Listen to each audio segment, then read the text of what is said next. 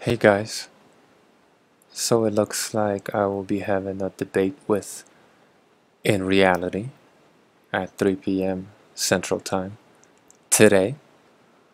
So look out for that if interested. But for the time being, I wanted to very quickly touch upon this whole pseudoscience that vegans push about chimpanzee teeth and how they're exactly like our teeth, which is why we should eat what chimpanzees eat, namely uh, an herbivorous diet. Some of the more batty vegans go as far as to say a fruitarian diet. Now, the reason why this analysis is pseudoscientific is because these vegans never take into account the very important fact that we have been using tools to heavily process all of our food, plants and meat, as well as the fact that we have been cooking our food, which makes it softer, for hundreds of thousands of years. And the fact that we're the only species on this planet that does that. So, why would you expect our teeth to look anything like any other species? Pseudoscience. But they say that our teeth look like chimp teeth. On the far right, you see our teeth. On the far left, you see chimp teeth. Really?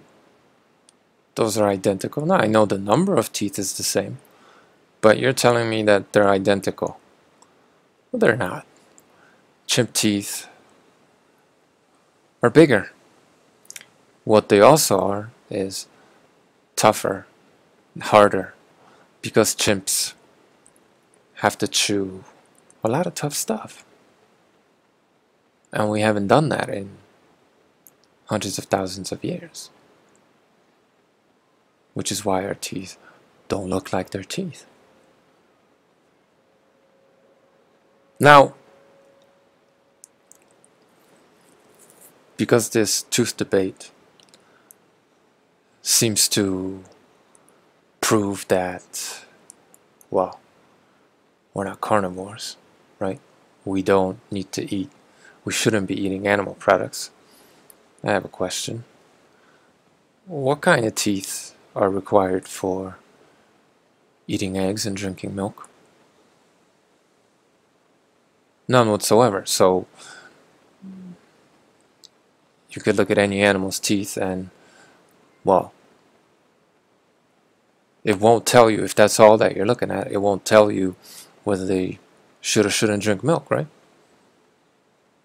If that's all you're looking at, teeth are your only marker, then maybe they should be. Now, what about fruit? Because some of the battier vegans want to say that we're frugivores. What kind of teeth are required to eat fruit? You don't need any teeth. You could be a 90 year old toothless man and you're gonna eat fruit just fine. So, is there such a thing as frugivore teeth out there? Well, scientifically, it doesn't make any sense. Unless you're eating very hard, very unripe fruit, which will give you a tummy ache and diarrhea, which is something that no vegan does. So, what kind of teeth do you need to eat fruit? You don't. Are you starting to see how pseudoscientific this debate is?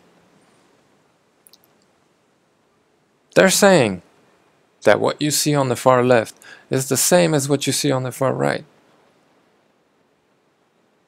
Looks very different to me. But if you think it is, and we should eat what chimpanzees eat, chimpanzees eat about 4% of their diet in insects, right? Not herbivorous.